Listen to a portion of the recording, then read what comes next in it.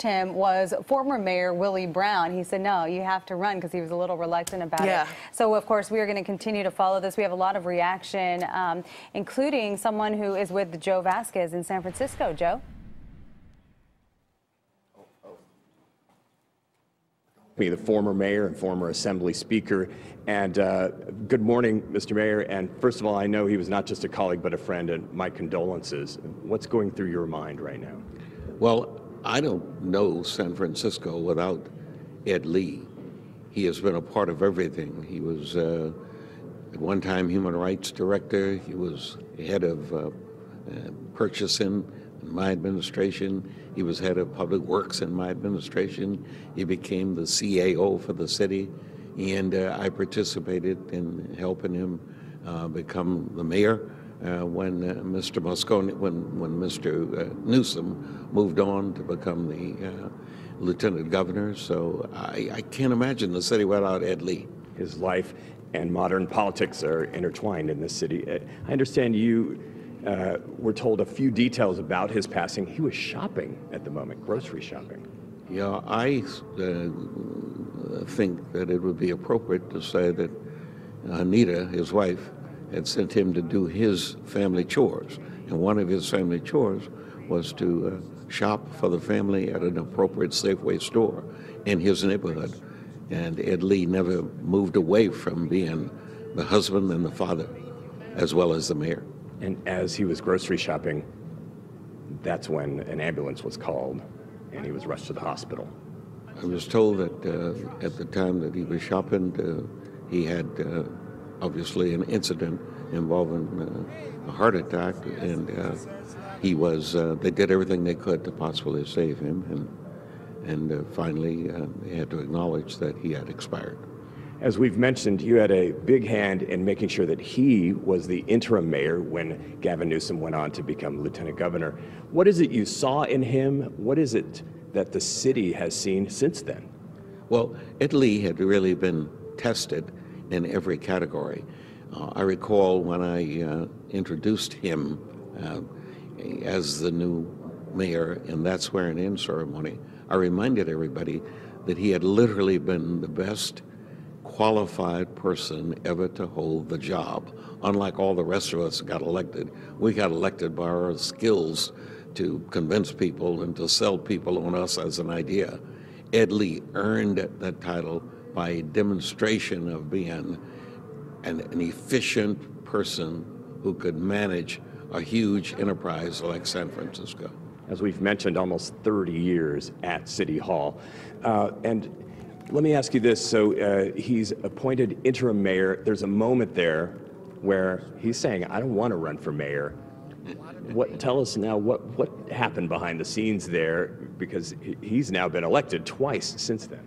Well, he really did not want to run for mayor, uh, but uh, when he became the interim mayor uh, on Newsom's exit, uh, and he said that he would not run, uh, it became clear to him that the city needed him more than probably anybody else to hold the city together. And he eventually changed his mind and did just that, and the voters rewarded him, as you have just described appropriately. The population of San Francisco now is more than a third Asian American. As the first Asian American mayor of the city of San Francisco, you know, that was a moment in time that was a long time coming. And, and what do you suppose his legacy is now? Well, for openers, that's the height of his legacy right out of the box. He was sim simply, for a major American city, the first Asian uh, of Asian descent in the capacity as the chief executive officer of an American city, and one as important as San Francisco. Uh, he was instantly flashed around the world, uh, and this was treated more like a nation state uh, than a city. And Ed Lee exemplified all the qualities required under those circumstances. I want to shift gears a little bit as we've been reporting uh, Supervisor London Breed now has become acting mayor as per the city charter. Uh, she does not become interim mayor until uh, or unless that uh, the Board of Supervisors, six supervisors, vote her in. But um, tell us more about London Breed. A lot of our viewers are not familiar with her, but you have uh, spent some time with her. London Breed is uh, San Francisco born and raised. She comes from well, the other side of the tracks, so to speak, in San Francisco. She was raised in public housing, uh, primarily by her grandmother. She's a University of California at Davis graduate. She is a USF uh, graduate on the master's side. Uh, she has been an employee of the city and county of San Francisco. She's run a community-based organization, uh, the Western Addition Community Center over on Fulton Street. Uh, she's been served on various boards and commissions, redevelopment and uh, fire, and she has uh, been elected um, against an incumbent appointed by Mayor Lee to the Board of Supervisors. She defeated that person in the 5th District, and she's been reelected handsomely in the 5th District. And under the charter, uh, she is uh, after being rewarded with the presidency of the board by her colleagues, she's now the acting mayor under the charter, and I suspect that she will be elected by her colleagues as the interim mayor. And in that way, all of the things that she's done over the more than four decades of her life, and all of the things that she has stood for, on all of the things that she has advocated for, all the fights that she's engaged in, have been reflective of a tenacious, uh, very tough, uh, wonderful, warm uh, human being. And so she will be, in my opinion, a good mayor. And you were telling me you expect that she will be sworn in at any moment. Uh, I suspect that she's probably already been sworn in. If you're the acting mayor, you probably should be sworn in so that there's no issue. Mm-hmm. You may have a public ceremony at some point later on, as was the case with uh, uh, Dianne Feinstein when she became the mayor as a result of Moscone's assassination.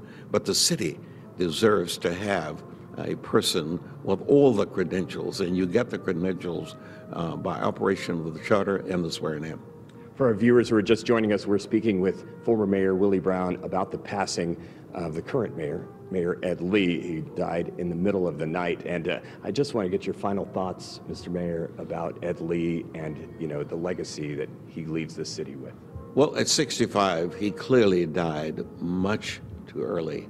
He clearly had a lot more to do and a lot uh, more to give uh, to this city. Um, I'm going to miss him personally, and, and I think the city will miss him.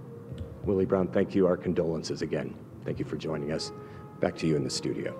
And uh, Joe, thank you for that. Uh, Joe Vazquez with uh, former Mayor Willie Brown of San Francisco.